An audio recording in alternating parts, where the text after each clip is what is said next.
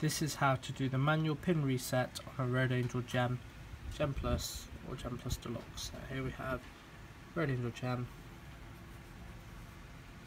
And as you can see, a very small black pinhole next to the power port. Simply paper clip or a safety pin in the hole, push down all of one to two seconds. Power up the unit as so. As you can see, we have life.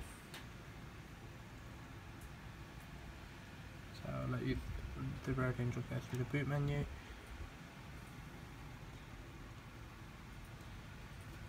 This is the very latest software 538, the new user interface from Road Angel. two different layouts.